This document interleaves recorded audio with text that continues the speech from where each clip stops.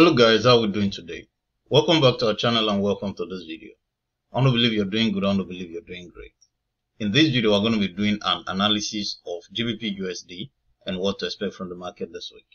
In case you just come across our videos, in case you just come across our channel, I want to say welcome, it's good to have you.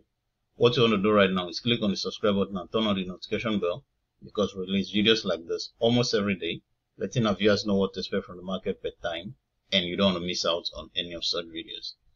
Before we get into the business of this video, let's say a bit about the last analysis of GBP USD. When we did that analysis, the market was here and we said that we expect the market to buy a bit till this region, then make a bearish reversal candlestick pattern before itself. Of course, remember there was already a strong bearish pressure in the market um, two weeks ago. Then towards the end of the week, there was bullish rejection. So we did say we expect to see a little of bullish activity before the market finally sells. But you can see from Monday through Thursday, there was some amount of indecision in the market. If you were trading last week, you must have noticed that Monday ended as a doji, Tuesday um, small bearish candle and the rest. So it was until Friday that we had this significant bearish move. So even though the market did not buy as expected, but it finally sold on Friday. So if you were able to get in on that, I to say congratulations to you. Now let's start the analysis on the monthly time frame. On the monthly time frame, GBP USD sold down to this region.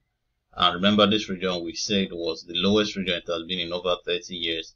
And started buying, got here, ranged a bit, bought up to this region and made this inverted pin, but then finally sold, sold down here and made this morning star and bought still this region. So at this region, it ranged for several months before um last month. Okay, yeah, last month, which was the month of March, was the first time we had a the market buy above this region, only for it to sell back and close below the region. Then this is the month of um, April, which we can see is currently a bearish candle. We've had three trading weeks in this month, and it's remaining only one full trading week for this month to come to an end. Now let's consider the weekly time frame. On the weekly time frame, you can see after the market sold from here down here, it's bought, got to this region, and it ranged here for several weeks. You can see that here. Stayed here for several weeks until um, this time we bought above this region only for it to sell below that region. So last week ended as a small bearish candle with an upper wick. Then let's consider the daily time frame. On the daily time frame, you can see the market started selling from here. It has been making um, a number of lower lows and lower highs until Friday. We can see it ended as a healthy bearish candle without a lower wick. Then let's consider the 4 hours time frame. On the 4 hours time frame, we can see the market has been selling and um, you can see here from Monday through Thursday, the market has just been ranging around here until Friday that finally sold this much. So that's what happened in the market last week. What do we expect from the market this week? Um, this video should be straightforward, um, no complexity because the market at the moment is proposing one thing and that is a bearish move. Look at the 4 hours time frame ended as a bearish candle without the lower wick. That's the last candlestick on the 4 hours time frame. On Friday, on the daily time frame, the market ended as a bearish candle without the lower wick. Then the weekly time frame ended as a bearish candle with an upper wick and um, it doesn't have a lower wick, which means that there was bearish pressure till the end of the time frame. So for that reason, we believe there's still bearish pressure in the market and the market should sell um, immediately it opens. So um, considering from here down to this region, uh, we can see there's bearish pressure in the market, but um, like I said, we expect the market to sell when it opens. There's also possibility, pay attention. There's also possibility that the market will sell on Monday only for it to buy on Tuesday. This is a possibility. Remember, a downtrend makes series of lower lows and lower highs. Look from here. From this region, we can see the market sold this much and bought a bit. Sold this much and range a bit, sold again, only for it to buy up to this region before it sells. So you can see from here down to this region, there has not been a buy. It has just range here. So even though Monday sells a bit, I see the possibility of it to buy that make a retracement before it sells again. So this still remains at TP 1.22 still remains at TP. So we expect the market to come to this region.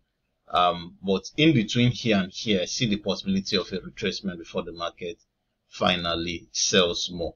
So the daily time frame is proposing a sell, weekly time frame proposing a sell, and the four hours time frame also proposing a sell.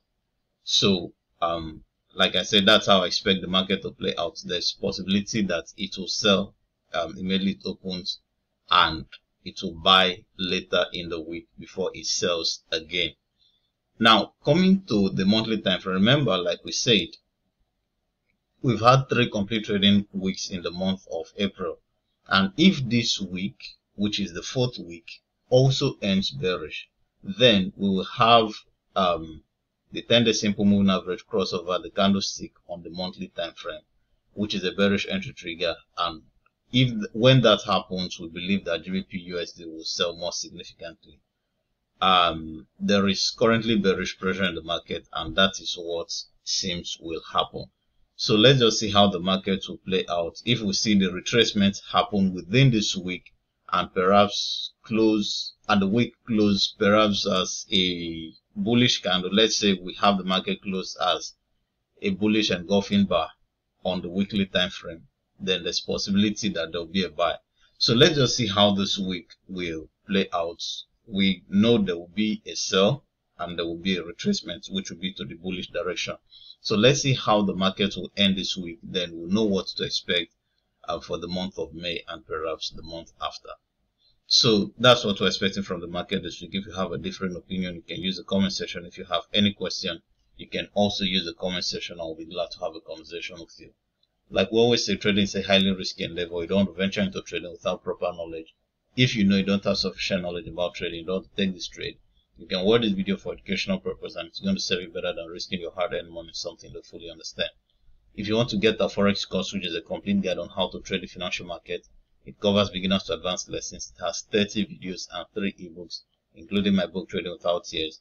I strongly recommend this course for anybody who is just starting out in the forex space or someone who is yet to find his way around the financial market.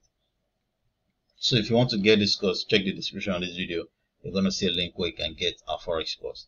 And if you want to subscribe for Signal Service, will give proper entry, stop loss, and take profit.